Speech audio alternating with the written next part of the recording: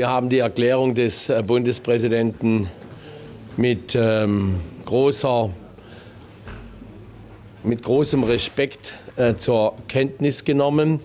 Äh, es ist kein Geheimnis, dass wir uns äh, gewünscht hätten, dass äh, der Präsident äh, noch einmal antritt, aber er hat ähm, gute Gründe erläutert und er bleibt jetzt auf jeden Fall noch bis im Februar im Amt. Und deswegen haben wir überhaupt keinen Grund, jetzt eine hektische Diskussion über Nachfolgekandidatinnen oder Kandidaten zu führen.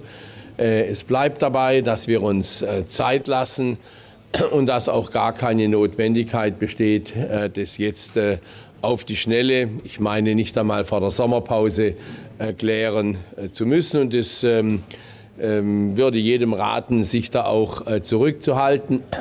Äh, wenn mein ähm, Kollege Oppermann erklärt, äh, dass es kein Kandidat der Union schaffen würde, dann äh, kann ich nur sagen, es ist sicher nicht das erste Mal, dass ein Sozialdemokrat sich geirrt hat.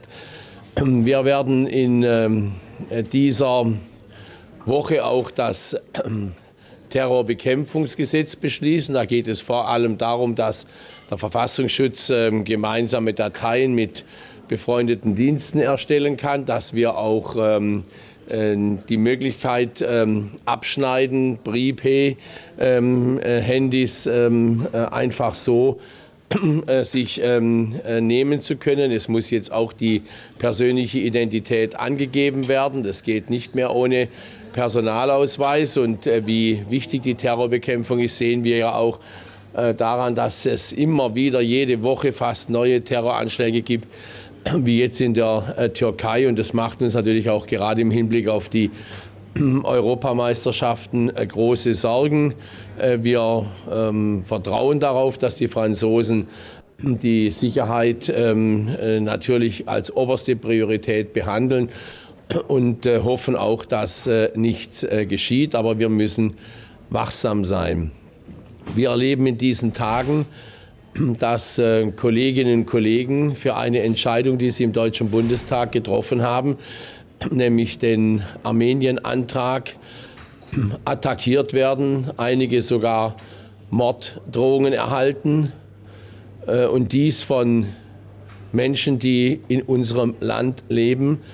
Das ist unerträglich und es ist auch unerträglich, dass ähm, der türkische Präsident Erdogan dies auch noch in einer Art und Weise anheizt mit Begriffen, wo ich geglaubt habe, dass die im offiziellen Sprachgebrauch in Europa nicht mehr vorkommen. Wir werden heute auch in der Bundestagsfraktion uns noch einmal mit der Situation der deutschen Landwirtschaft beschäftigen. Wir haben ein Hilfsprogramm, das wir heute in der Fraktion einmal vorstellen und um äh, zu untermauern, wie sehr wir uns äh, um die äh, deutsche Landwirtschaft kümmern, wird es heute für die Abgeordneten auch Milch im Ausschank geben. Eine Milch aus einer Molkerei, die ihren Bauern noch 40 Cent pro Liter Milch bezahlt.